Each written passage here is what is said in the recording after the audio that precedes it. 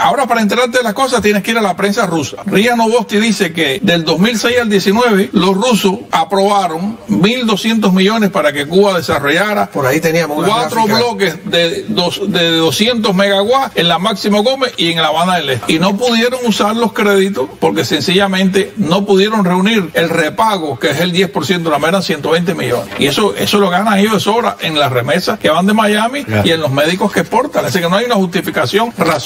A ver, a ver, Eso es una exposición eh, que, que, que, Cuba no puede, no, no puede explicar. Y los rusos sí lo explican, que están muy desilusionados con la forma en que están manejando los fondos. Tenemos una gráfica aquí con la información que tú nos entregaste, a ver si me la explica. ¿Qué es Bueno, esto es otra cosa que es, que es alarmante. Por ejemplo, todo el mundo sabe que Díaz Canel, aunque ya en el 2018 era el presidente del Consejo de Estado de Ministros, eh, se le diseñó una constitución para eh, inventar el cargo de presidente y sale en el 19. Cuando Díaz Canel hereda todo este tema del gobierno, se desarrolla vertiginosamente por Gaesa, que yo lo considero un gobierno paralelo, una inversión loca de muchos hoteles, no de cuatro y cinco estrellas, algunos y todos, todos pasan eh, por, la, por una cantidad de 200, 300, 400. Yo tomando solamente los ocho más emblemáticos y llegué a esa cantidad que son 2.150 millones. ¿Se han gastado en hoteles 2.150 millones?